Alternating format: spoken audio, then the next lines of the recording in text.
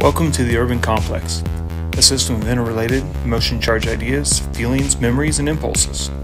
This name takes the definition and lays out what a listener should expect. A podcast where ideas, feelings, and memories collide, leading towards meaningful change. I'm co host Chris Richardson. Please enjoy the journey with the Urban Complex. Smarter cities for a stronger tomorrow. All opinions by Chris Richardson, Dominic Papa, and podcast guests are solely their own opinions and do not reflect the opinions of Arizona State University or the Arizona Commerce Authority. Any endorsement of or messages from sponsors are solely supporting the production of this podcast. There is no relationship further than podcast purposes with any sponsor unless separately created with another entity.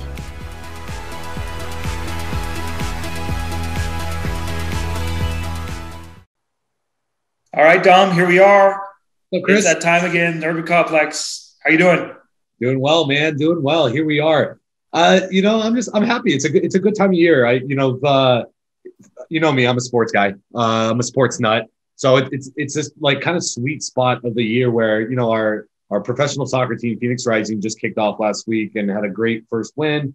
Suns are going to the playoffs, right? The, so NBA's leading towards And looking good, by the way. and yeah, it's and looking good. best in best in basketball. baseball's in full swing. The draft, the NFL draft just happened, which means the season's right around the corner. It's just it's that like idyllic time of year for a sports nut uh, to just be happy about where it's at and just you know see everything. Which which leads me into why we're excited about this guest that you're you've told me that we're bringing on today because talk about a sports mecca. I think Boston is probably if not the biggest sports mecca. I mean, Patriots, Red Sox, Bruins. I mean, you name it you want to go experience sports love, you go to Boston, right? So I'm excited about this guest that you've told me we're bringing on today. Yeah, I I, uh, I got to go to Fenway one time. I've been to see the Celtics there. I, Oh, I even lived for a brief. Yeah, I, I was in Monster. I even lived for a brief uh, stint uh, right outside of Boston uh, for a semester through Northeastern University up in Nahant. So I've experienced the accent. Uh, but our guest today, Mitch Weiss, uh, you know, it's amazing. You know, we've heard us reference before our ASU Cloud Innovation Center partner with the KIC, or it's called the KIC, partner with the Amazon Web Services.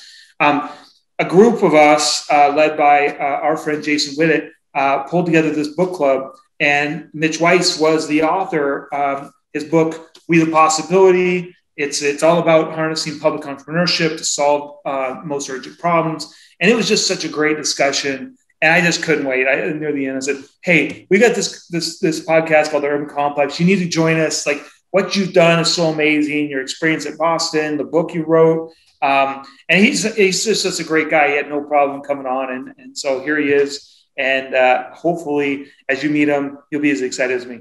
Yeah, I mean, this is cool. I mean, you, you say public entrepreneurship, that that's my heart right there. So I'm, excited, to, I'm excited to see what he's what he's up to, what his story is, and uh, yeah, I'm just ready. Should we bring him on? Let's do it. Let's get him on. All right, here we go. All right, Mitchell, please let Dom and I give you a warm welcome to our podcast, The Urban Complex. Thanks for having me. Yeah, that's to be fun, gonna be a fun, fun day here. Thanks for joining. Um, we've we've just found a great recipe is just to get started with the background about you. Uh, our our audience loves to kind of know the context of where our guests are coming from. So just start there. Like what what do you want them to know? Um, take your time. Make sure you reference you know your time at Boston because it is that that that area. We'll get to the book uh, later, so don't don't don't uh, rush into that here.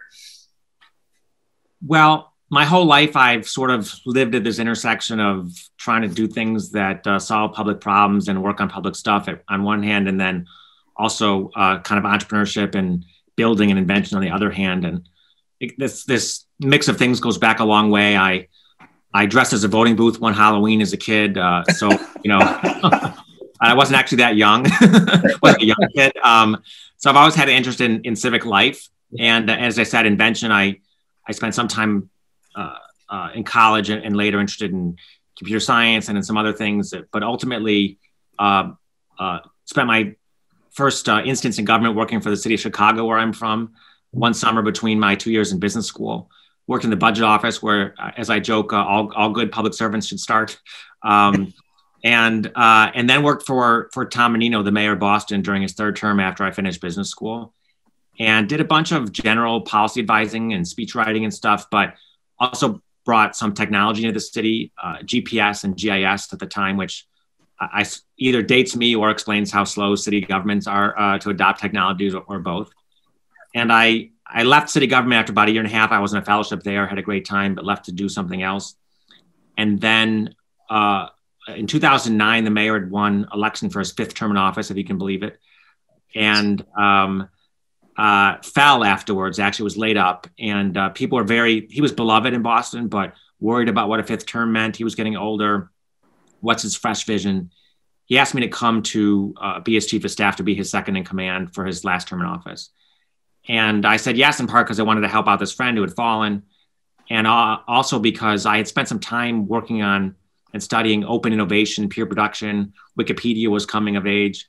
And I had been thinking about if we could bring ideas of open innovation into uh, Boston, we could change Boston. If we could change Boston, we could change the world. And so he, when he asked if I'd come be his chief of staff, I said yes, but I also said I want to start this thing called the Mayor's Office of New Urban Mechanics. It would be the first big city innovation office in Boston, or the first sort of innovation office in Boston, one of the first big city innovation offices in the world. And so I came in to help run the city, worked on a lot of things, but including help uh, co-found with Nigel Jacob and Chris Osgood, the, the mayor's office of New Urban Mechanics, which people who study smart cities and other things will know of. And um, worked on a bunch of other startups inside City Hall, uh, including uh, including the wake of the Boston Marathon bombing, uh, the One Fund Boston, and then the mayor retired, announced his retirement, and I thought about what I wanted to do next, and I had seen all this opportunity from from uh, entrepreneurship inside a city hall, but also how hard it was.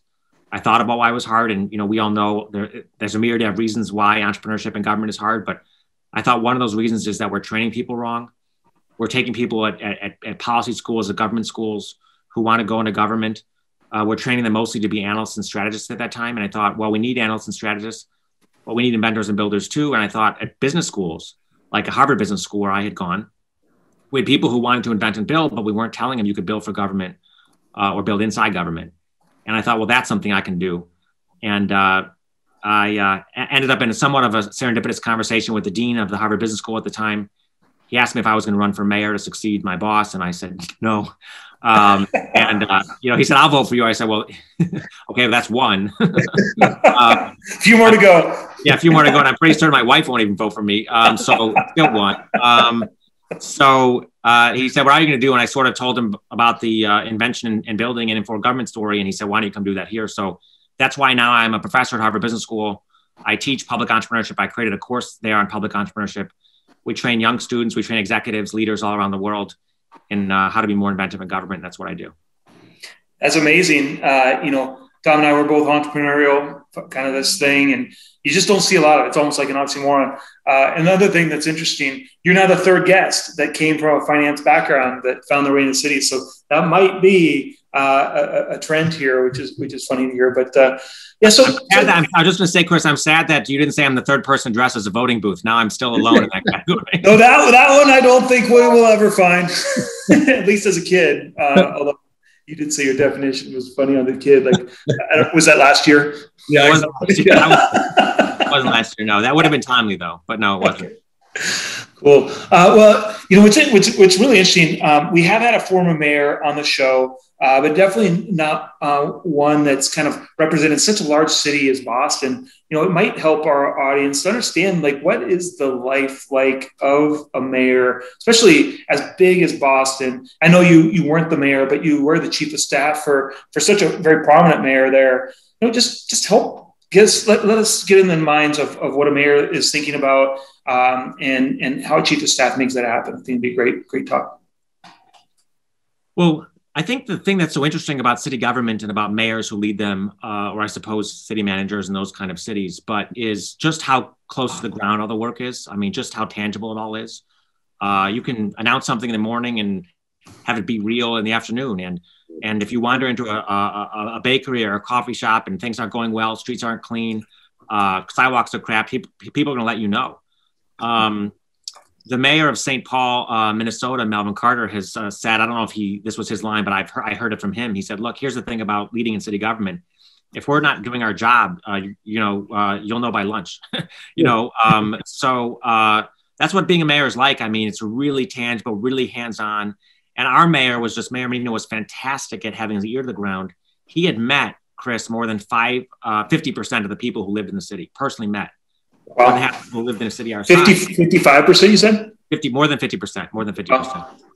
And so it's very hands-on. And, um, and at one level, you have to keep your eye on the big agenda uh, and move the city forward. And on the other hand, of course, all the, the various issues uh, uh, of the day are going to pop up, a snowstorm, uh, a, you know, hur- hurricanes, a building collapse, God forbid, um, fires, homicides, um, on occasion, you know, really horrible things like like uh, the Boston Marathon bombing. So you have to be somebody who can sort of move the agenda and be responsive at the same time. For chiefs of staff, I um, chief of staff I think about is the job basically breaks down into three buckets, and one, and this is a line from Andy Card when he was chief of staff for for President Bush, but the the care and feeding of the of the mayor, you know, making sure that the, all the mayor has is their time and energy and that's the most important resource the city has in that context. And so, how do we make the most use of that? And the, the, the whole staff that work for me, uh, speech writing, uh, advance, uh, scheduling, it's all about care and feeding of the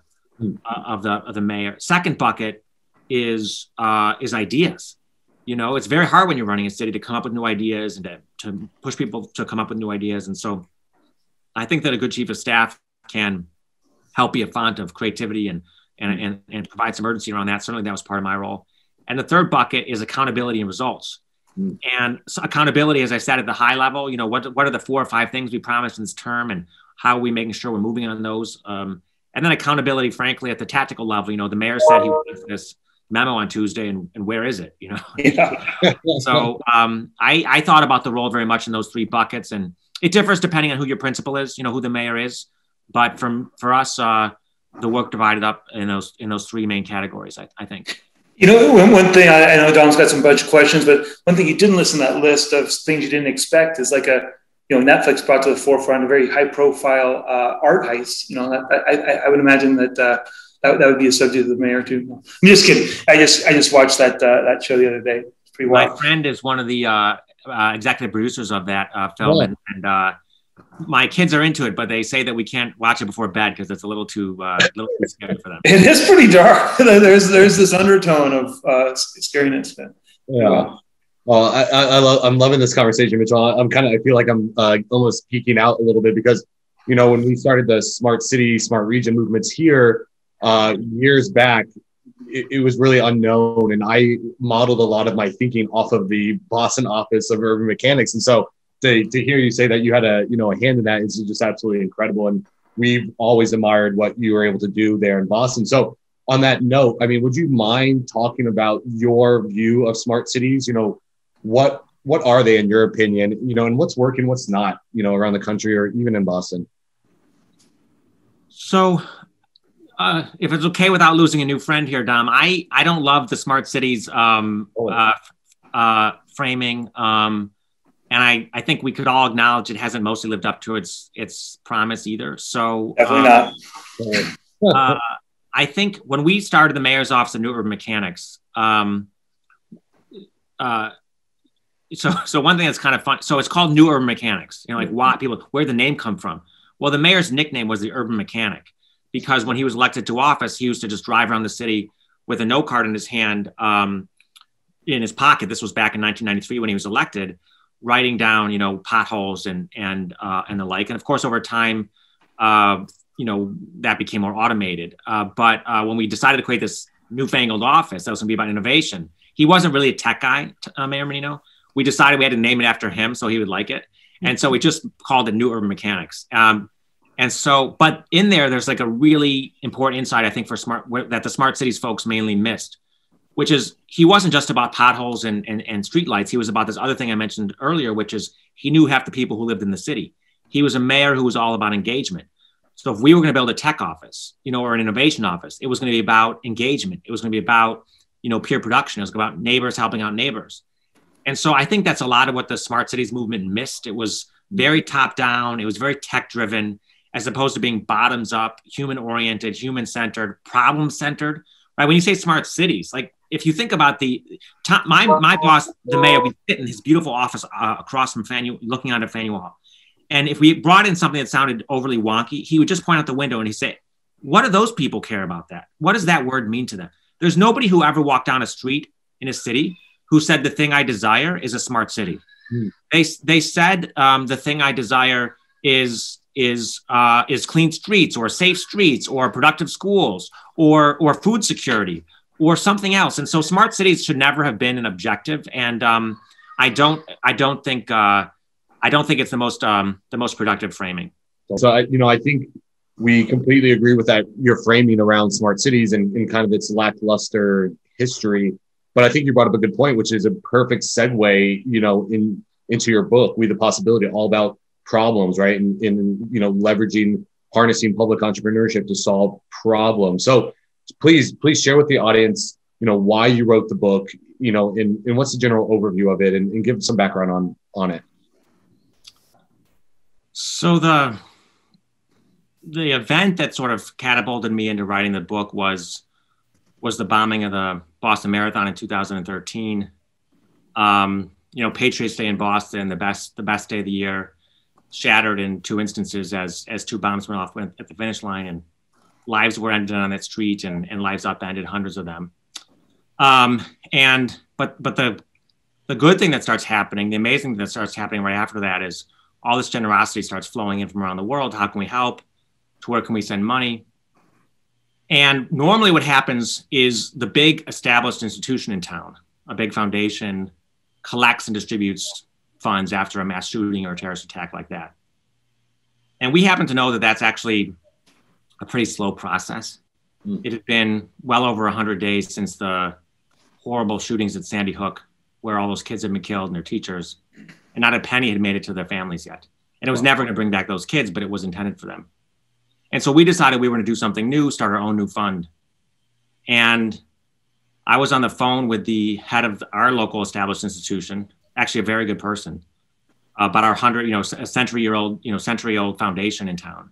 The morning after the bombings, we were at the hospital. The mayor was going to visit survivors, and I'm I'm being yelled at over the telephone. You can't start your own new fund. You'll raise less money. Government can't start something new. And we did anyways. We were up and running that night on a on a PayPal account. So just over 24 hours after the uh, the bombs had gone off, and, and that morning, the next day, on a uh, with the post office box, and um, uh, eventually we collected and distributed 60 million dollars in 75 days, which made it the fastest relief effort of its kind in the history of our, our country. And um, a year later, two two survivors asked me to tell them the story of how One Fund Boston came to be, and I told them a longer version of the story I just told the two of you, and they said, "Oh, you have to tell that story to other people." And I said it's not my story to tell. I didn't save anybody's lives. I didn't get hurt. Uh, and uh, they said, you have to tell that story to other people. You have to show people government can do new things. So I was left with this question, really, which is, well, which is it? Is it what the survivors had experienced and benefited from, which was we could do new things? Is it what the foundation had had said, which most of us have seen most of the time, it feels like, which is government can't do new things?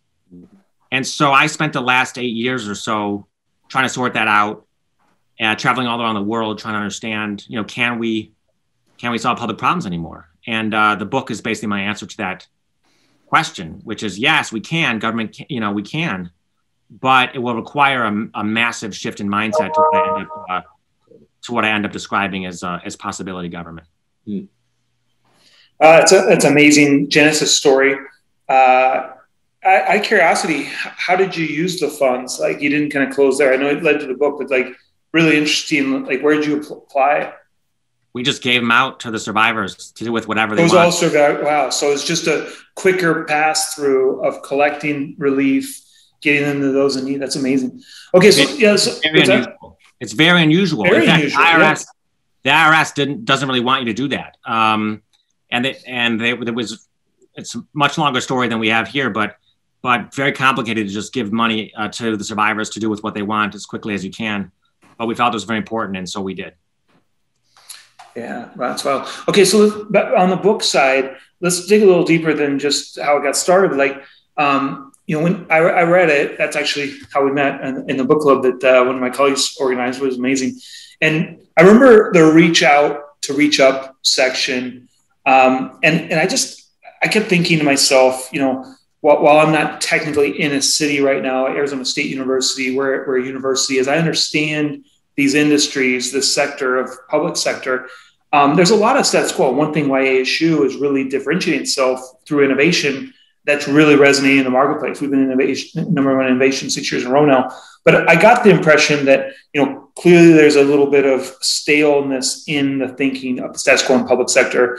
And um, I'm, I'm guessing that's what you had in mind, but just tell us what was behind that chapter. And more importantly, like, what is the mindset you're looking to instill? Because I think that's a, a, a big piece of what I, what I read.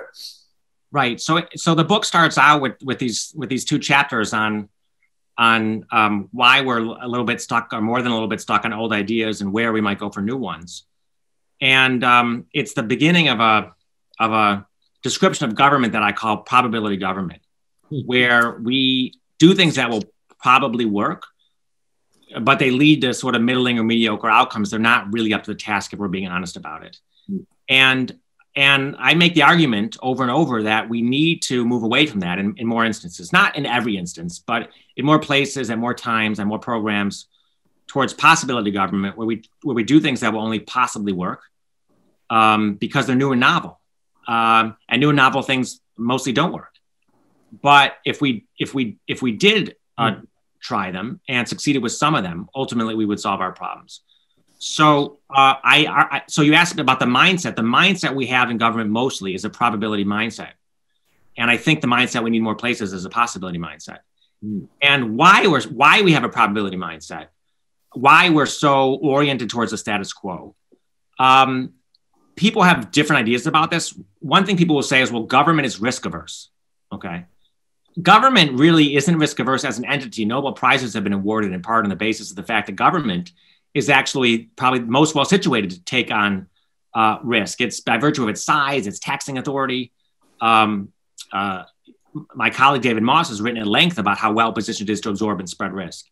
But the people in government, the people in government are risk averse. Now, the, the main reason they're risk averse is because they're human, is, is because they're people. But uh, all of us are risk averse. We're wired that way.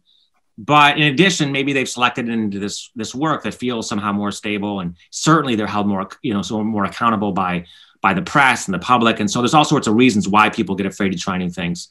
Um, but I think we have to move past it because because the status quo isn't working in so many places. We just have to be clear eyed that the status quo is not working when it comes to preparing people for the future. When it comes to making sure uh, that we're you know uh, that our, our planet will be here. When it comes to making sure um, that, uh, that that people are fed and, and schooled, and so um, we're stuck. We're mired in status quo, partly because we're human, partly because we're humans who are being constantly um, scrutinized by other humans and the press, and and we should we we, we need to be scrutinized, but um, but that's led us to be stuck. And uh, what we need is for uh, for the public to understand that it's going to be okay to try new things, and to even encourage that and to even co-participate in that and provide a new kind of scrutiny, a new kind of accountability, which is not to say people in public can try everything they want willy-nilly, mm-hmm. but to say if you try new things and you don't waste too much time and you don't waste too much taxpayer money in trying them, then if those things fail, uh, but you still take the lessons on other things, we won't we won't throw you out of office, uh, or we won't drag you in front of a uh, you know hearing or skewer you in the press. And so I, uh, I start in those early parts of the book, as you allude to, Chris, to, to try to argue that we need to move from a probability mindset uh, to a possibility mindset, and and that part of that part of the uh, reaching out aspect of this is is where do you go for new ideas? If you're going to start possibility, start with ideas. Where do you go?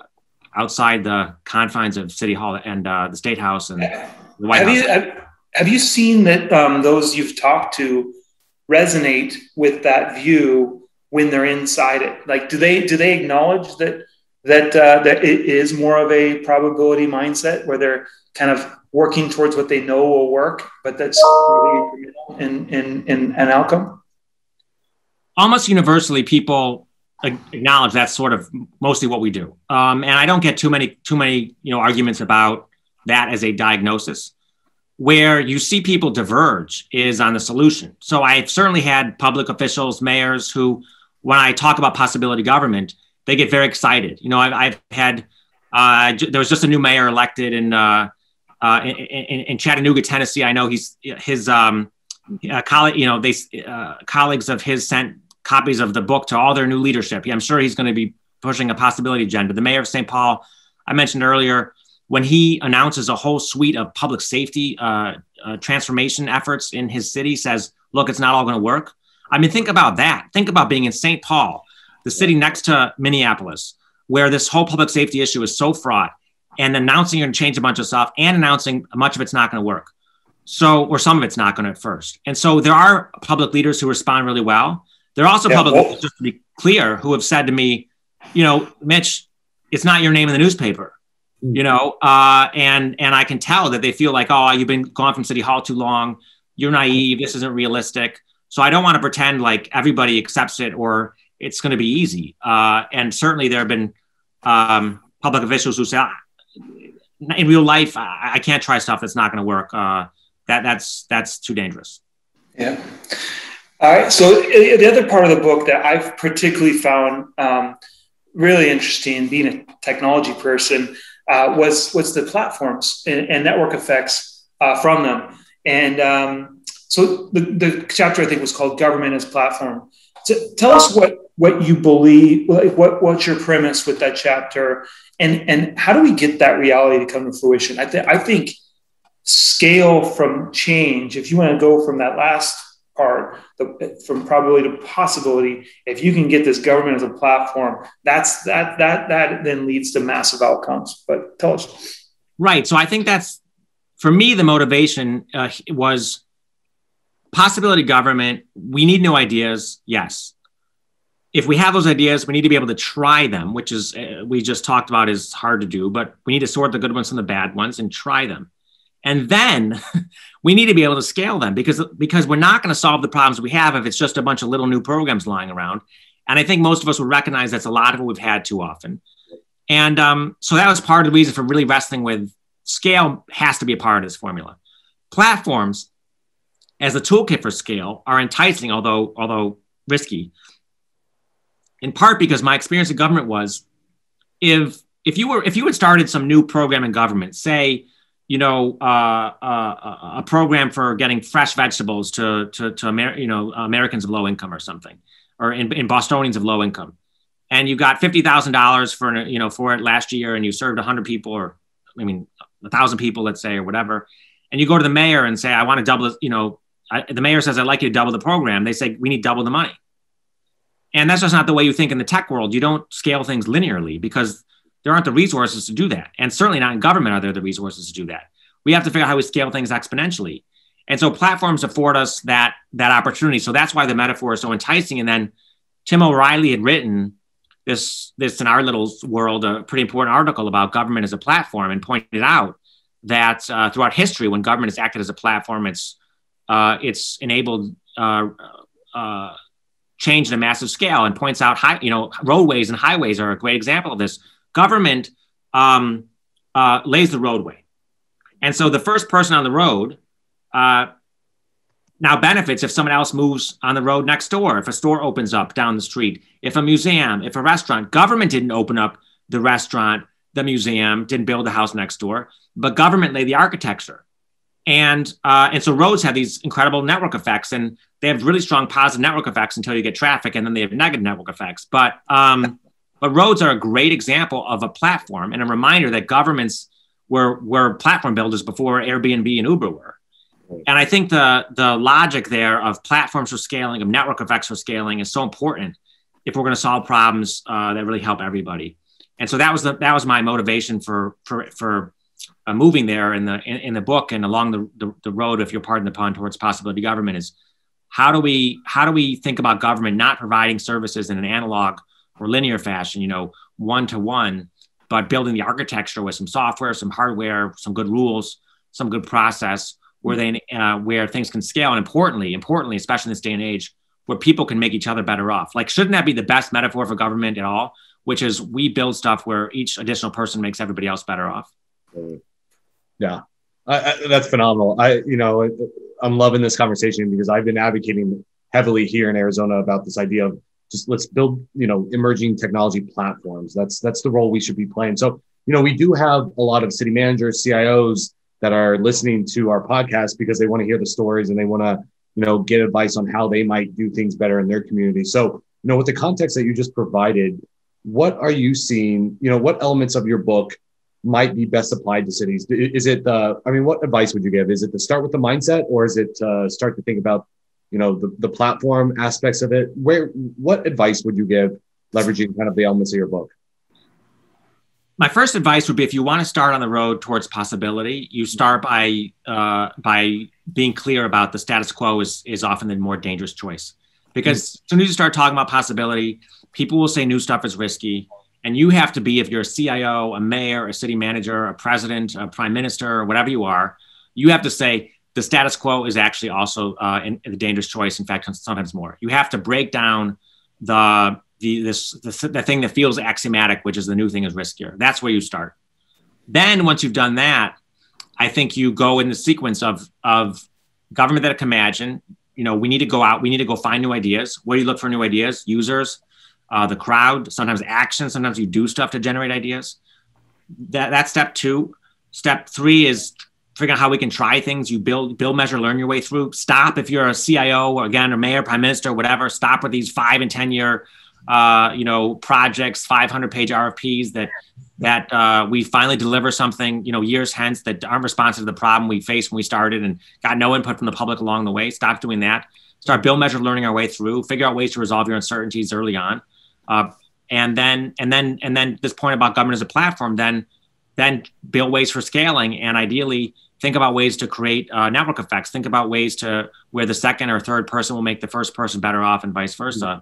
That would be uh, my advice. Um, other advice is start actually. This is this is counterintuitive, but I say start where citizens can see you people's tendencies when they start on this stuff is to want to start in the back office because it feels safer. You know, we're going to be innovative, but we'll be innovative around the procurement system you will not get the energy you need from the public if that's if you're doing it all behind the scenes and so I, I start on stuff you that go from 500 pages to 460 pages. Yeah, right. Exactly. We'll, we'll exactly. When then we'll all celebrate how we got it. We, we cut 40 pages.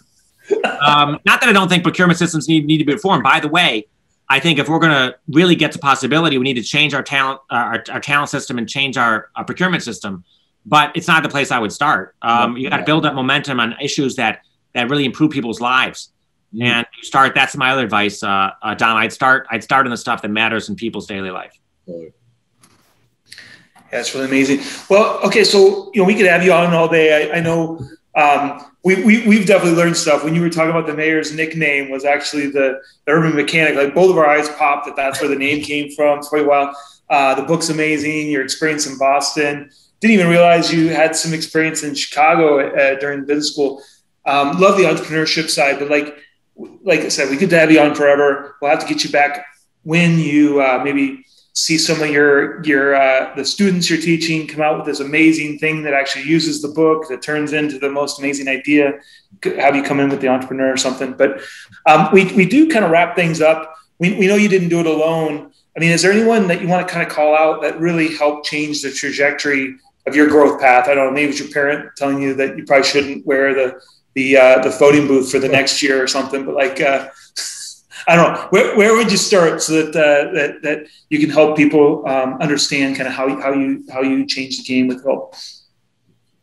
You know, um, I've mentioned the mayor. I, you mentioned my students. I would say I started this course of public entrepreneurship at Harvard Business School, and people told me it was a really bad idea.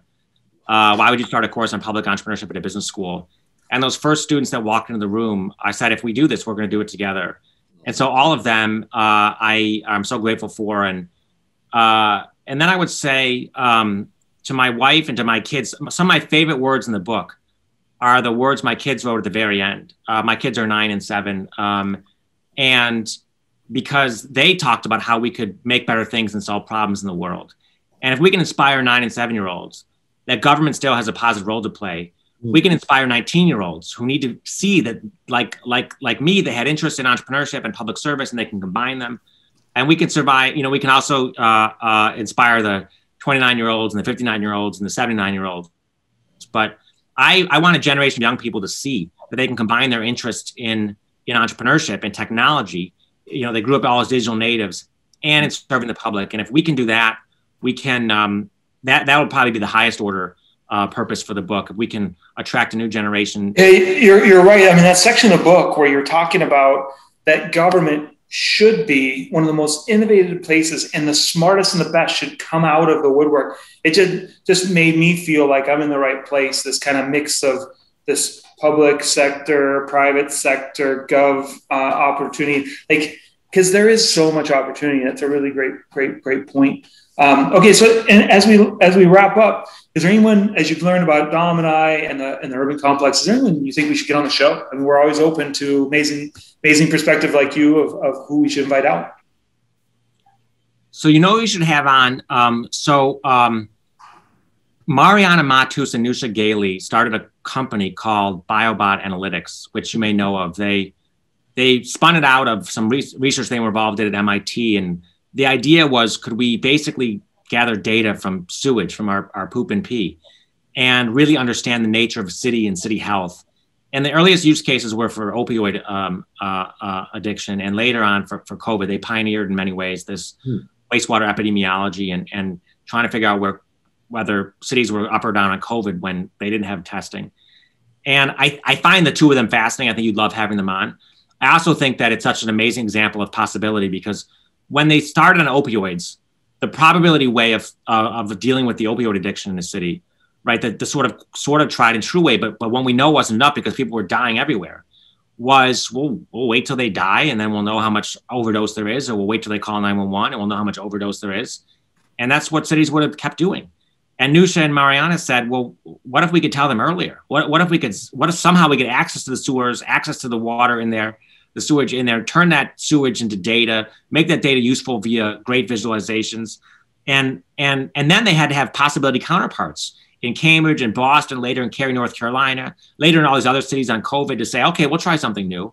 So I, I find them theirs to be a fascinating example of this possibility, um, probability, possibility dichotomy. And the two of them are just uh, so intriguing. I think you'd, uh, given all that you got, you two think about and, and, and do and study, I think you'd really enjoy them. Love it.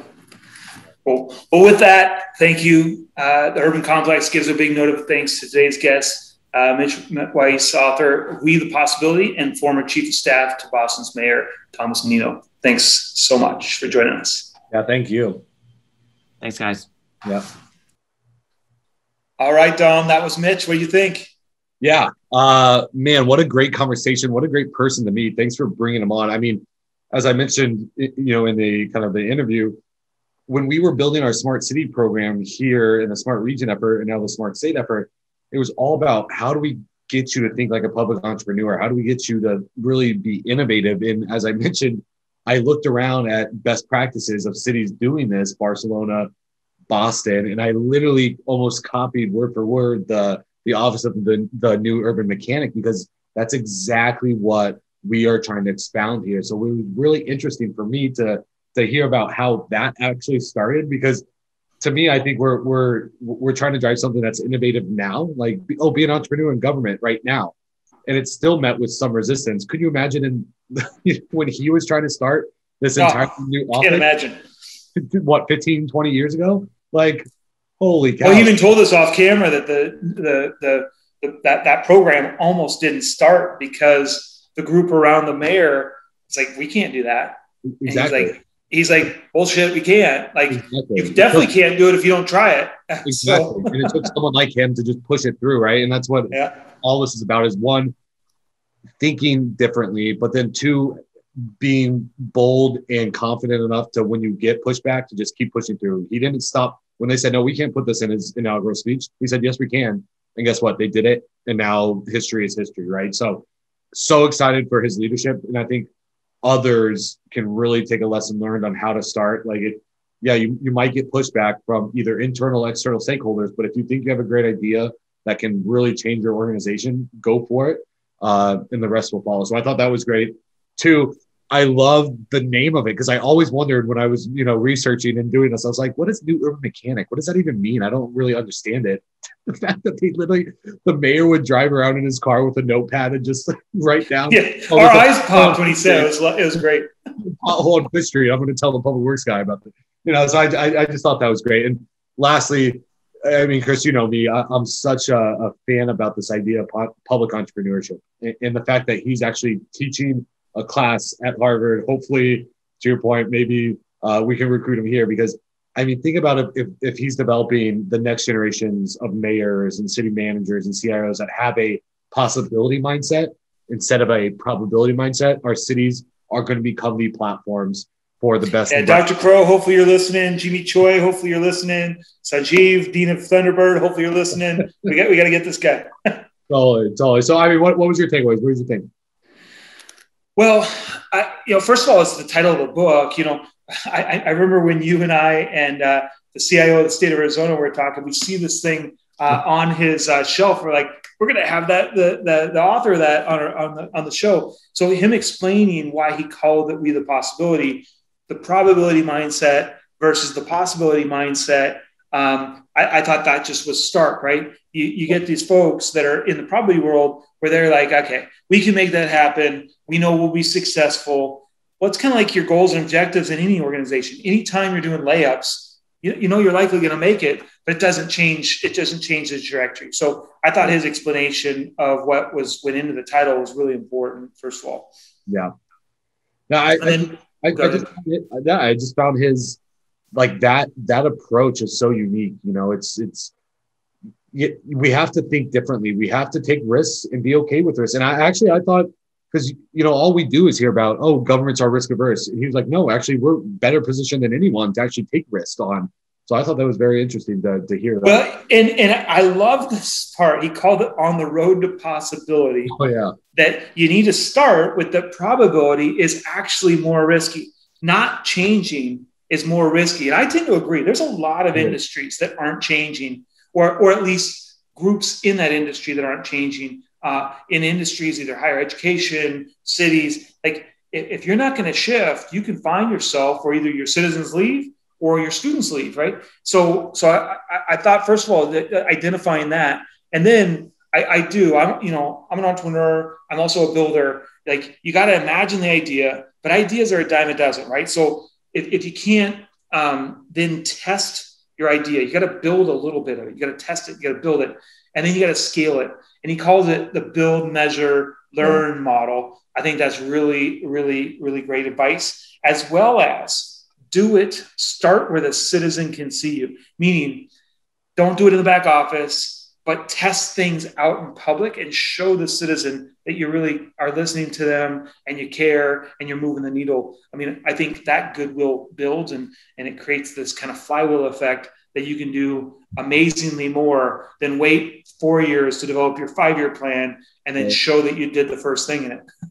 Yeah, you know, I think it falls out well. You know, even Mike, you know, Mike Grisby last week talked about you still have to do the unsexy work, the back end work. Yep but he said you also need to do the front, the the you know the citizen facing because if not, then you'll never move. And so his point was well taken. That yeah, you still have to do something that touches the citizens, but then you know don't don't focus on cutting the procurement from 400 pages to 398 pages. Like let's do something that's actually people care about to move the needle and get and get momentum built. Right. I think a lot of times in government and the public sector, it's all about momentum. How do you how do you start the ball down the hill, right? Once you do, then great things happen. But the, the, the heavy lift for usually governments and probably universities is getting the ball started, right? So many people want to say no. So many people want to say, well, you have to follow this process to even start something, you know, that there's just so many barriers to just starting something that sometimes people just say it's not worth it.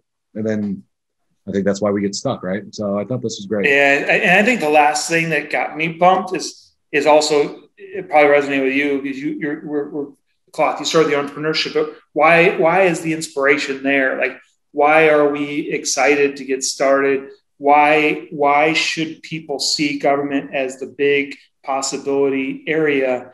And I mean, his book he really does talk about. He thinks this is the big frontier. Uh, well, one, one, one of a few, and we need a, we, we need some more of the brightest minds to tackle it. And uh, you know, I just think if we can inspire our audience to see differently, which we've been trying to do with stories. I mean, it's literally in the book.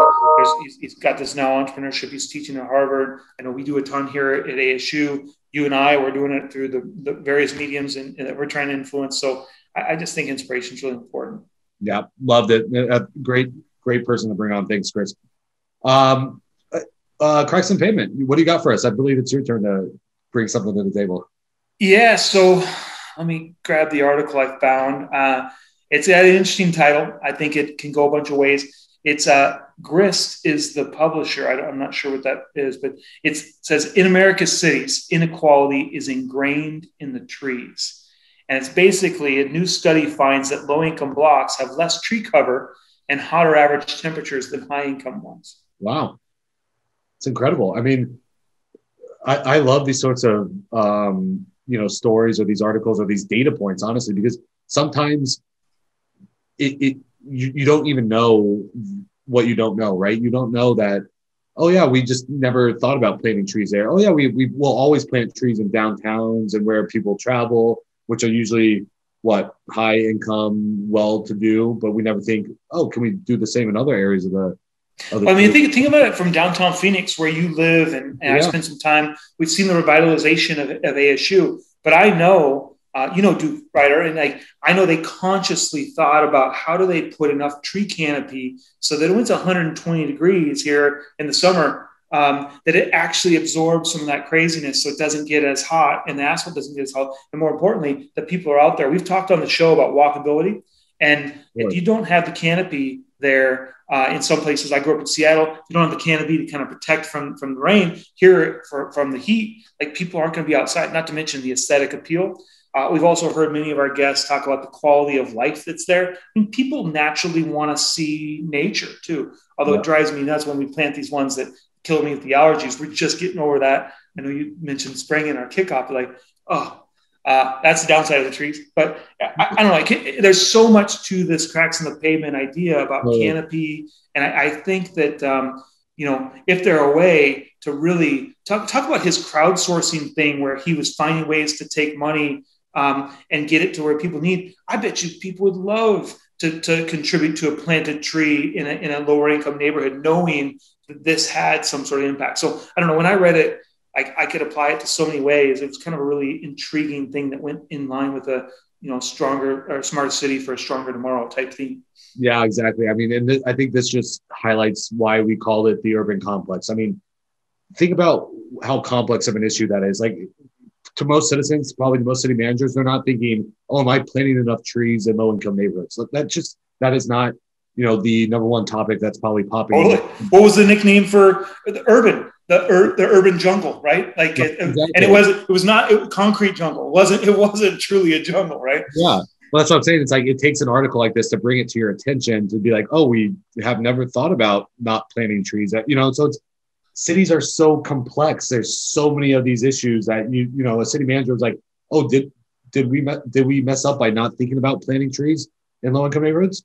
Maybe, but maybe it never just came to the forefront, you know, in the conversations because cities are so complex. There's always, uh, you know, an issue. But to his point is, how do you build the platform so when the issue comes to your head, comes to it, comes to the city, now you say, okay, how do we solve it, right? And I think that's exactly what we're trying to do with these stories is just, hey, how do you build the capacity, the platforms, the organizational structure, so that way when a new complex issue comes, like planting trees in low income neighborhoods, now you can have a system to solve it, right? And I think that's, that's well, well, if any of our guests like like this theme, it looks like the Nature Conservancy, a gentleman named Rob McDonald, lead scientist, kind of ran this, and they found poor Bridgeport, Connecticut. They had the most disparity. Uh, five blocks away, they could literally see four degrees Celsius change versus the high income blocks and the low income blocks. Wow. that's a that's a huge difference wow. in yeah. temperature. I mean, it's wild. It's yeah, that's the difference between like 115 and 100. Yeah. uh, four degrees Celsius, yeah, no doubt. that's awesome.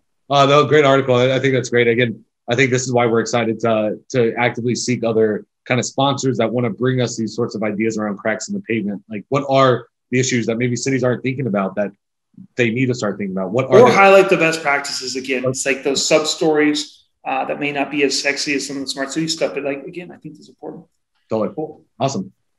All right. Well, that's a wrap. Thanks all. Yeah, that was great. See you next time. Thanks for listening to The Urban Complex Smarter Cities for a Stronger Tomorrow. Please find us on where you listen Apple Podcasts, Spotify, or YouTube. We do love your feedback. Let us know if you have ideas for guests or questions to air on Cracks in the Pavement via social media. The Urban Complex is found on LinkedIn, Facebook, and Twitter. Or just shoot me an email, chris at theurbancomplex.com. Until next time.